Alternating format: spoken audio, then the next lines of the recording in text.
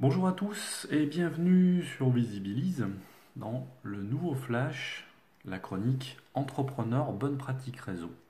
Alors, tous les mois maintenant, on va se retrouver donc euh, dans cette chronique où je vous parlerai des bonnes et des mauvaises pratiques réseau, que ce soit sur le net ou euh, offline, c'est-à-dire dans les événements, les réseaux, euh, les réseaux physiques.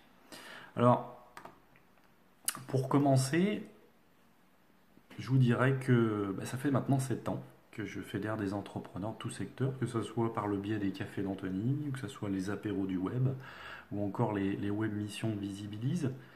Euh, je dirais que mailler les réseaux et développer son, business, euh, c'est bien entendu le but de ces rencontres, mais c'est aussi d'échanger sur les bonnes pratiques réseau, donc que ce soit numérique ou physique. Et à ce propos, il y a certaines pratiques que je vais vous énumérer que l'on peut constater et euh, qui sortent du cadre et qui sont plutôt à éviter. Alors un exemple, envoyer une information très commerciale ou une auto-promo par mail en laissant volontairement les adresses mail visibles. Alors en effet, ce sont peut-être des personnes que vous avez rencontrées lors d'un meeting ou d'un after work, ok, mais posez-vous la question, est-ce que c'est bien une démarche réseau? Moi, je vous dirais non. Euh, ça n'a pas de sens. Euh, c'est vraiment très très intrusif justement de cette manière.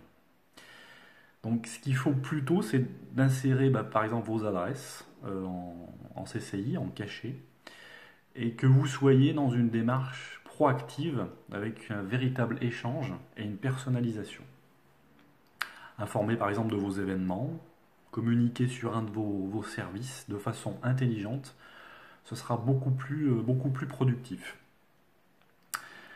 Sur les réseaux sociaux, donc les réseaux numériques, communiquez sur l'information utile.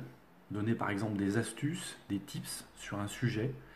Euh, vos lecteurs euh, et les personnes du réseau auront plus, auront plus d'intérêt.